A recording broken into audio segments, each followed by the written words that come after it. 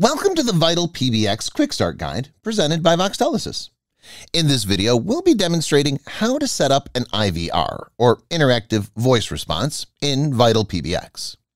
To begin, log in to Vital PBX. Click on PBX. Select the Incoming Call Tools tab, then click on IVR from the dropdown. We'll first configure the general settings. Type in a description for this IVR.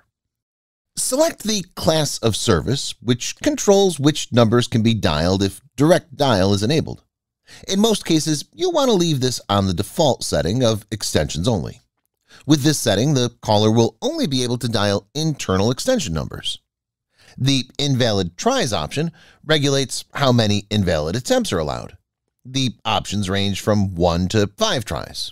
You can also disable it from here. Next, you can leave the welcome message on the default setting or choose any message you have uploaded from the dropdown. The instructions message plays after the welcome message. This is an option if you want to separate your greeting from your instructions. It's set to none by default.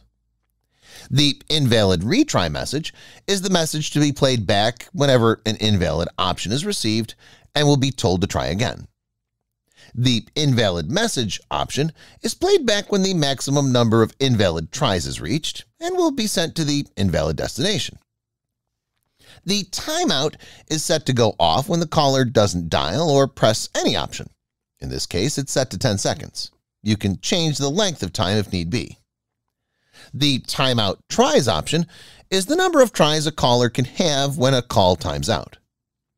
You can set the timeout retry message to play after a timeout, which will prompt the user to try again. This will only play if there are tries available. The timeout message is the message that will be played back before the caller is sent to the timeout destination. This message will play when all of the tries have been used. The Welcome After Timeout option can be set to on if you want the welcome message to be replayed after the timeout retry message. If the welcome after retry is turned on, it will replay the main IVR welcome message after the invalid retry message. If you turn on direct dial, this enables direct calls to any number that the class of service configured on this IVR allows. The invalid destination is where you'll send and how you will handle calls when the caller has entered all of the invalid tries. The timeout destination is where you will send and how you will handle call timeouts. Next, click on the Entries tab. From here, you can enter the digit for callers to press, then you can select the destination to send the call. Click on Add for each additional key press option. Click on Save when you're finished, then click on the Reload icon on the top right corner. Congratulations!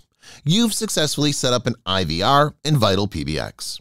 Check back for more helpful videos on Vital PBX as we're continually adding new guides.